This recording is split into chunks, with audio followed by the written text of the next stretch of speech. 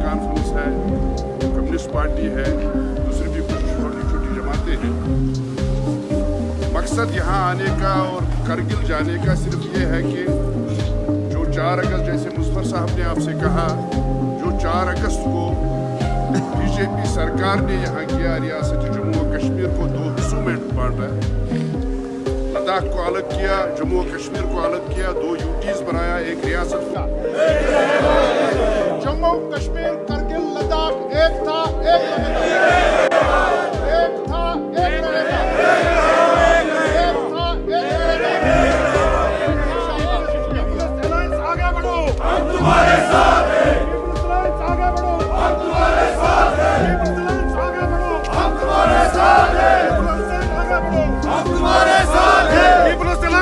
ಕಾಪಾಡು